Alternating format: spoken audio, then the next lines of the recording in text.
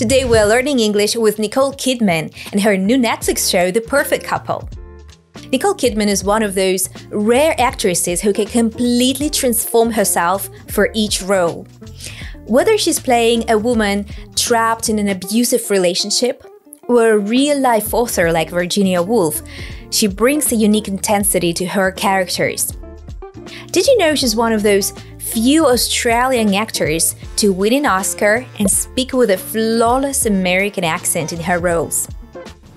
This is, he, he's a wonderful father. I mean, he's the best, the best. I couldn't think of a better one, really. Her versatility never fails to impress viewers. Flawless and versatility are among other advanced words that we included in a special deck of flashcards that come with this lesson. Practicing with them daily on our real life app is the easiest way to remember these words forever. If that sounds interesting to you, just click the link in the description below using your phone to start your vocabulary practice right after this lesson. And if you are new here, welcome aboard! Every week on this channel, we create lessons just like this one to help you understand your favorite movies and TV series without getting lost, without missing the jokes, and without subtitles. So hit that subscribe button and bell down below not to miss a single new lesson. Now, let's watch the clip with the subtitles. Then I'll explain all of the most important vocabulary, grammar, and pronunciation, and then we'll watch the clip one more time to check your comprehension.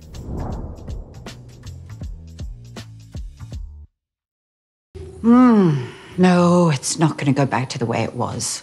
I'm not going back to the way I was because, really, I've been living a lie, haven't I? I mean, I'm far more colourful than that, aren't I? Come on, it was a it was a turn of phrase. No, it was a threat, Tag. That was a threat. So, boys, gloves are off now. Your father and I didn't meet in a gallery opening. We met in a bar. What are you doing? What am I doing? I'm ripping the band-aid off. well, Tom and I met in a bar. I worked in a bar. I um I sometimes worked in a hotel. You but sure we want to tell make this story from No, when your mother, Yeah. where she oh, yeah. from? I want to tell this. There, there weren't a lot of opportunities, and so she had to work. She worked very hard to support herself. Oh, to support my entire family, as I've always had to do, as I still do. But anyway, back to the point. Hmm. No, it's not going to go back to the way it was. I'm not going back to the way I was because, really, I've been living a lie, haven't I? I mean, I'm far more colourful than that, aren't I? When you live a lie, it's only a matter of time before it all comes to light. And that's exactly what happened here. Greer, Nicole Kidman's character, is fed up with pretending.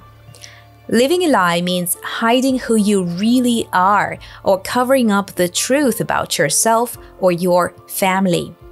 In the scene, Greer shocks everybody, revealing that their so called perfect couple was living a double life.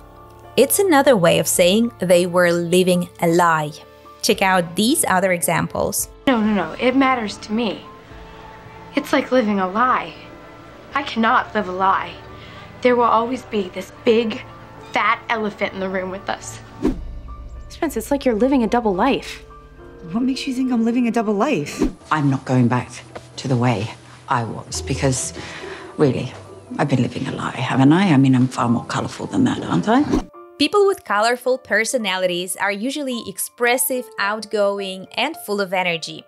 What Greer says here might mean that by living a lie, she had to hide parts of who she really was to fit the image of the perfect couple they created. Note that it's not common to use this word on its own. Usually, you would hear a phrase, a colorful personality, or a colorful character, like in this example from Inventing Anna. Would you like to leave a message? You know, I've met a lot of colorful characters in here murderers, hit women. Now, listen to these sentences one more time. I've been living a lie, haven't I? I mean, I'm far more colourful than that, aren't I? How do we call those small questions at the end of the sentence?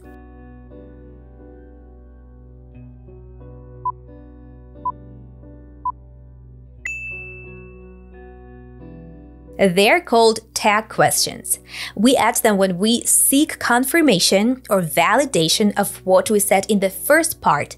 In this case, she says she has been living a lie, and by adding haven't I, she wants her husband to agree to that. The tag question follows the positive negative pattern.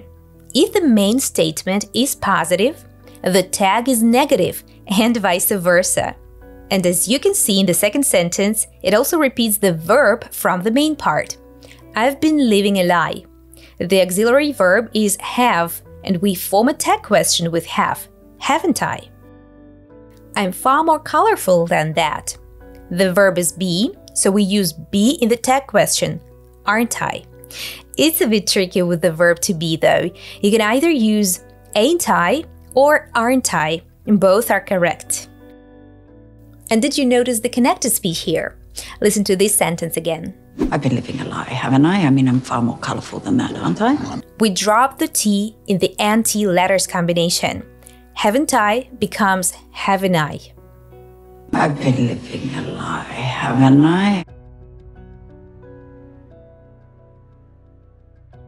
Um, it was a, it was a turn of phrase. No, it was a threat, Tag. That was a threat. So, boys, gloves are off now. A turn of phrase is an expression or a specific choice of words. In the scene, Greer's husband just wants to make it clear that his words weren't meant literally, but were just a figure of speech. Earlier, he tried to calm her down by saying, Everything's gonna be fine and it's all gonna go back to the way it was. So, if someone misunderstands what you said or takes your words too seriously, you can say it was just a turn of phrase to explain that you were just using a figure of speech. Well, you know what they say the wicked flee when no man pursueth. You think we're wicked? No, what? it's just a turn of phrase.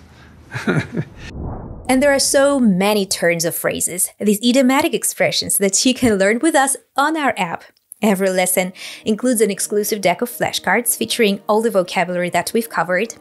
By practicing just 10 15 minutes daily, you'll be able to transfer these new words from your short term into a long term memory.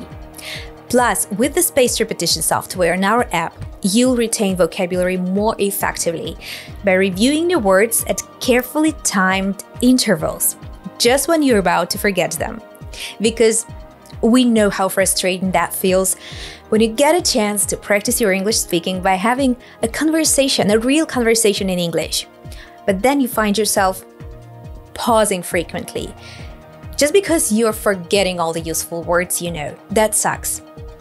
I've been there myself. And let me tell you, this is exactly what the Real Life app can help you with. I highly recommend you check it out. The app is free to download. Just look for Real Life English in the App Store or Google Play, or simply click the link in the description below. It's free to get started, so go and download it now. It was a, it was a turn of phrase. No, it was a threat, Tag. That was a threat. So, boys, gloves are off now. The gloves are off, or the gloves are coming off, is an idiom that means that situation got serious and someone is no longer being polite or keeping their true feelings to themselves. Here she finally wants to let it all out, so gloves are coming off. This phrase comes from sports, where removing the gloves signals that the fight is about to get much more intense or brutal. The gloves are off, pal! Come on, let see little rat! Smite me, oh mighty smiter! Gloves are off now. Your father and I didn't meet in a gallery opening, we met in a bar. What are you doing? What am I doing? I'm ripping the band aid off. This is a band aid. And when you rip it off, it's not the most pleasant feeling, right?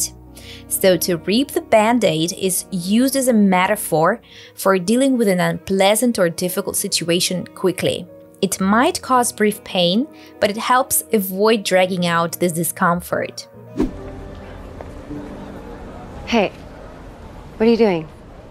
Ripping off the band aid. And so she had to work. She worked very hard to support herself. Oh, to support my entire family, as I've always had to do, as I still do, but anyway, back to the point. In a conversation, uh, the phrase back to the point is used when someone wants to return to the main topic or focus of the discussion after getting distracted. In the scene, Greer is trying to get back to revealing the truth about her life.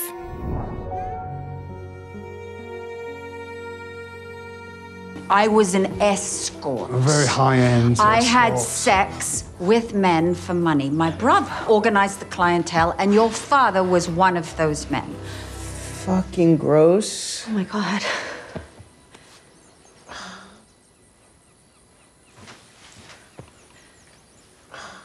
I didn't pay. Come on, Tag. Well, the first time, technically, the first. Yes, you, did he pay? I- yes. You did paid. pay. Three I- times, three times. All right?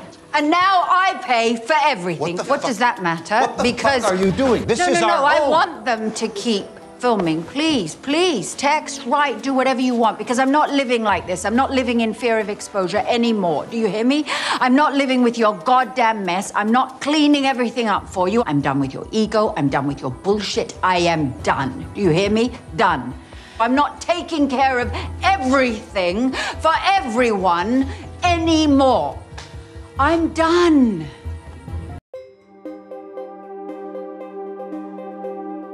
I was an escort. A very high end. I had sex with men for money. My brother organized the clientele, and your father was one of those men. Fucking gross. Oh my god. An escort is usually someone hired to go with another person to social events, dinners, or outings. It doesn't always mean sexual services, though sometimes it can, depending on the situation. You may come across this word also in other contexts, like military or police escort, meaning the military or police accompany a person or a group of people, which is typically done to protect someone important, like a political leader or a witness. Barney, I'm not bringing a date. Even if I wanted to, the thing's in two hours. So get an escort. By escort, you mean prostitute? Why not? Her brother then adds that Greer was a high end escort. High end refers to something luxurious, expensive, or serving wealthy or prestigious clients. They make safes here? Complex security systems. High end, top of a line, very expensive. The ghost stole a safe? I had sex with men for money. My brother organized the clientele, and your father was one of those men. Fucking gross. Oh my god. Clientele is just a fancy way of saying all the regular customers or clients of a business. For example, if a cafe has a loyal group of people who come in every day for coffee, those people are the cafe's clientele. Why would you ever question that? With the clientele here, it's mostly rich white people. Gross is disgusting. As we see in the clip, you will say gross when something you see or hear makes you feel uncomfortable, sick, or repelled. I didn't pay. Come on, Tag. Well, the first time, technically, the first. Yes, you, did he pay? I- yes. You You did paid. pay. Three I- times, three times. In this sentence, you did pay. The verb did is used for emphasis. They want to make it clear that Greer's husband did pay, even though he said he didn't. So instead of just saying, you paid three times, which sounds neutral, you did pay three times makes it stronger and highlights the fact that he actually paid multiple times. Please, please, text, write, do whatever you want because I'm not living like this. I'm not living in fear of exposure anymore. Do you hear me? Exposure is when your private life, secrets, or weaknesses are made public, often causing embarrassment or harm. Greer, being a famous writer, has always been careful about her reputation, up until this very moment. A group emailed to all her former students checking up on them after moving away. Just a concerned teacher reaching out. No risk of exposure. I'm not living with your goddamn mess. I'm not cleaning everything up for you. I'm done with your ego. I'm done with your bullshit. I am done. Do you hear me? Done. In this context, a mess refers to a situation that is chaotic or full of problems. Goddamn is a strong swear word, so by using it, she intensifies the sentence, showing how angry and frustrated she is with this way of living. She might already be the whole reason you're in this goddamn mess is because we're not working together, because you refuse to talk to me. I'm not living with your goddamn mess. I'm not cleaning everything up for you. I'm done with your ego. I'm done with your bullshit. I am done. Do you hear me? Done. So Greer is fed up with all the mess. She's done living a lie. And as you can guess, the phrase I'm done means you've reached the limit of your patience. You're emotionally exhausted. You can't go on like this anymore. You can say, I'm done with something or I'm done doing something. Both are correct and mean the same thing. But don't confuse it with the context of finishing a task. For example, if you say, I'm almost done, it means you're nearly finished with your task. I can't do that to Abby and throw away our life together. So I am done being scared and I am done keeping secrets. So we're almost done, meaning we're almost finished with the lesson. Now it's time to test your comprehension. Watch the clip one more time without subtitles and answer the quiz questions that we prepared for you. Let's watch it.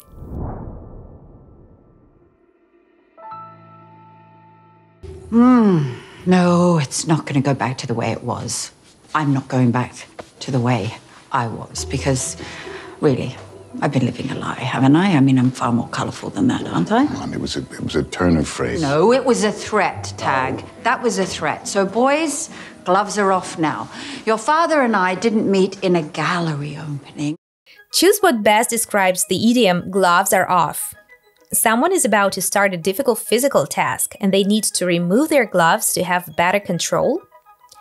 A moment when someone gives up trying to be polite or gentle and is ready to be more aggressive or direct in a confrontation.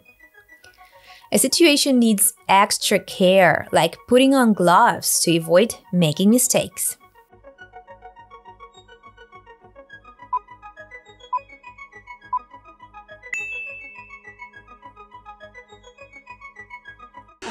And so she had to work. She worked very hard to support herself. Oh, to support my entire family, as I've always had to do, as I still do. But anyway, back to the point. I was an escort. A very high end. I had sex with men for money. My brother organized the clientele, and your father was one of those men. Fucking gross. Oh my God. What does the word high end mean? Located at the highest point in a building, like a top floor apartment? Outdated or no longer in style? Of superior quality, typically expensive, and made for people who want the best.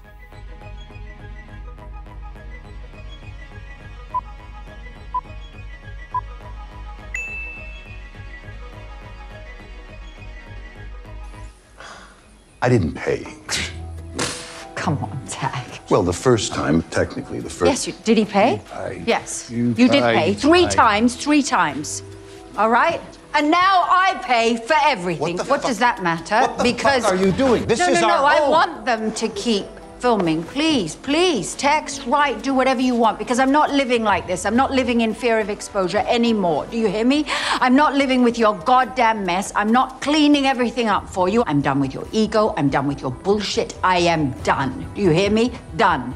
I'm not taking care of everything for everyone anymore.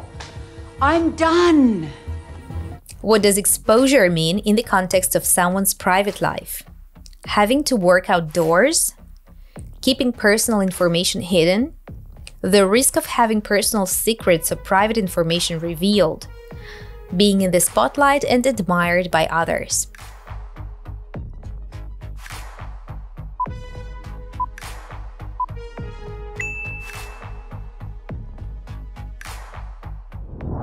That's it for today. As always, I'll be super excited to see your comments with feedback and your suggestions for new lessons. Remember to subscribe to our channel and hit the bell down below to follow all of our new videos that will make your English learning fun, natural, and convenient. And if you're looking for a lesson to watch next, check out this one. You know what's funny? When I saw your ad on Craigslist, I thought you were women. That's funny. Why would you think that? That's crazy. I mean, what? The, Schmidt wrote the ad. Oh, I guess it was something about the words he used. It was like, uh, like sun-soaked and beigey. what are you doing? Wow. Mm-hmm. What about these? These look beige to you? Sorry. I'm his trainer, so uh, it's kind of the house that Coach built right here. What are we looking at here? That's baby smooth. This is LLS.